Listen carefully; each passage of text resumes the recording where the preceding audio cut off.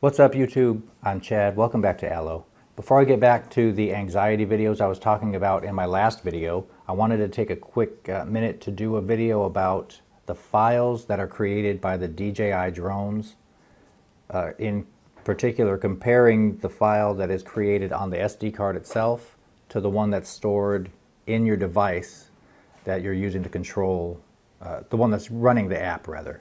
Because uh, that one actually stores a copy of your file on your phone or tablet, whatever you're using uh, for the DJI Go 4 app.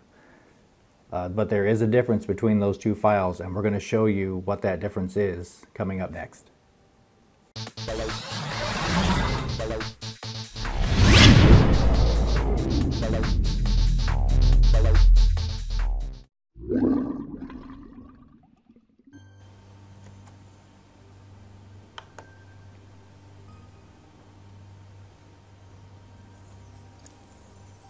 Okay, here we are with a side-by-side -side comparison of the two identical video files. The left one, as you can see from the little titles, the left one is directly from the SD card.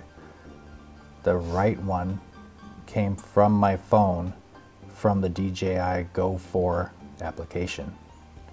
Again, the app seems to record a backup copy of your video and also your pictures as you record.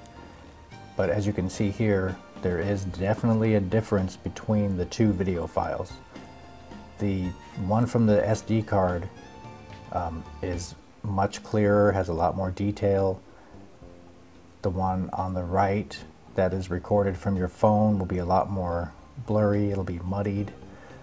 And also, uh, if you look at the grass, the one in the one from the phone, it's the that color in particular it would seem like flashes. It'll flash between lighter and darker colors of green.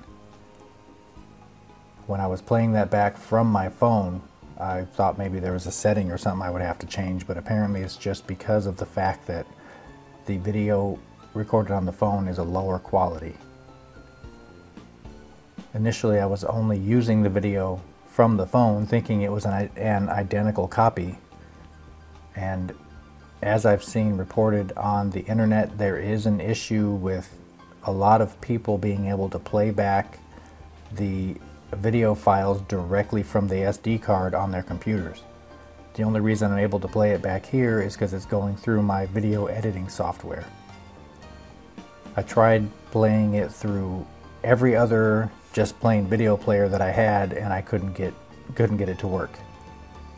Some of them would show the first uh, clip or, two, or the first frame or two and then freeze. Other ones wouldn't load the clip at all. And on one or two of them it actually crashed my whole computer. So I don't know what it is about the video files being created within the drone itself, but a lot of systems seem to have trouble playing them back. Luckily, my video editing software seems to be able to handle it. So that's about the only way I can really view it is through my video editing software and then creating uh, another video out of it.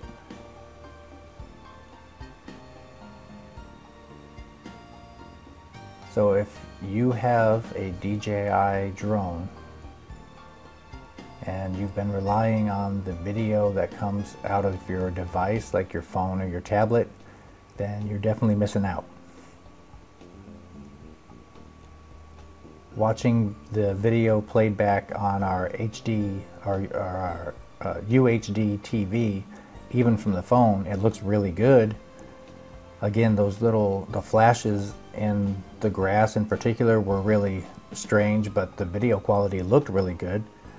Um, now that I'm able to see the video directly from the SD card, it's uh, quite a bit better. So if you if you are in the same boat as me and you're relying on the video from your device that you're using in the controller, then you definitely want to upgrade to the video that's on the SD card within your drone.